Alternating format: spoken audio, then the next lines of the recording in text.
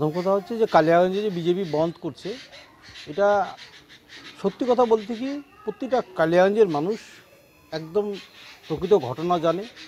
যার জন্য কালিয়াগঞ্জের মানুষ পুরোপুরিভাবে এই বন্ধকে প্রত্যাখ্যান করেছে এবং বীতশ্রদ্ধ বিজেপির যে এই যে বন্ধ হঠাকারিতা একটা সিদ্ধান্ত করছে, এটা নিয়ে গ্রামে গঞ্জে সমস্ত মানুষ এবং বিজেপির যারা নেতৃত্ব আছে, তারাও ভীষণভাবে একটা অংশ ক্ষুব্ধ। বিজেপির আর একটা অংশের উপর। এই যে ওরা বিজেপি আজকে মাইলেজ অর্থাৎ বন দেখে ধন্য অবস্থান করে নিল। তাহলে আপনারা শাসক দল, কেন এই জায়গাটায় পৌঁছতে পারল বিজেপি? আমি প্রথম কথায় বলি যে দেখুন, আমাদের পশ্চিমবঙ্গের এবং সমস্ত জায়গার মানুষ, সবাই যারা প্রাপ্তবয়স্ক, রাজনীতির সাথে কেউ যুক্ত সরাসরি, কেউ বা প্রতিনিধিত্ব করে, কেউ বা বিভিন্ন রকম অবস্থানে অবস্থান করে, কেউ বা নিরপেক্ষ ভোটার কিন্তু আজকে বিজেপির ক্ষেত্রে দেখা যাচ্ছে যে যেখানেই ঘটনা ঘটছে, সব জায়গায় রাজনীতি রং লাগিয়ে দিচ্ছে। প্রকৃত ঘটনাটার দিকে না গিয়ে ওরা রাজনীতি করার চেষ্টা করছে। তদ্রূপভাবে কালিয়াগঞ্জে যেখানে ঘটনা ঘটছে, দুটো পরিবারই আমাদের তৃণমূলের ভোটার ওরা এবং তৃণমূলের একনিষ্ঠ সমর্থক। আমরা প্রকৃত ঘটনাটা জানি। দুই পক্ষের সাথে আমরা বলেছি, ভাই, আর যেটাই ঘটনা ঘটুক, মৃত্যু অত্যন্ত দুর্ভাগ্যজনক।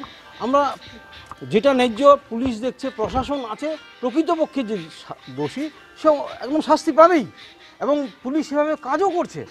চারজনের মধ্যে একজন চারজন মূল আসামির মধ্যে একজন আসামি, একজন মহিলার বাচ্চা হয়েছে, ওকে বাদ দিয়ে বাকি যে তিনজনের মধ্যে দুজনকেই ধরেছে, আরেকজনকে ধরার জন্য পুলিশ হেন্ন হয়ে ঘুরে বেড়াচ্ছে।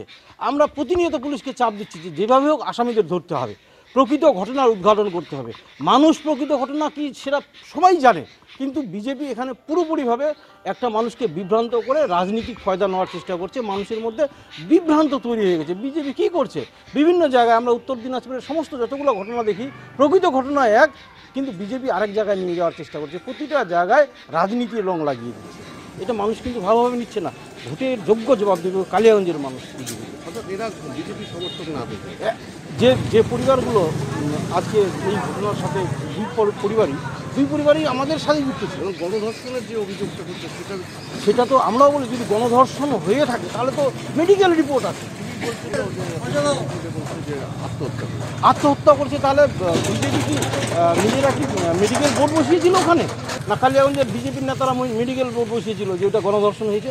আমরা বলছি যে গণধর্ষণও যদি হয় সেক্ষেত্রে তো তৃণমূলের মধ্যে জড়িত নয়। মানুষ এই ধরনের অপকর্মের সাথে বিভিন্ন সময় জড়িত হয়ে যাচ্ছে, সেক্ষেত্রে যারা প্রকৃত আসামি, তারা শাস্তি পাক। আমরাও চাই।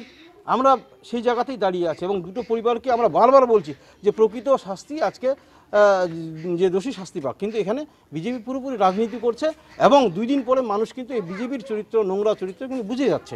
যার জন্য বিজেপির বড় অংশ, যারা ভালো, সুস্থ, স্বাভাবিকভাবে রাজনীতি বিজেপির করে, তারা কিন্তু এই সমর্থন বন থেকে সরে আসছে পুরোপুরিভাবে।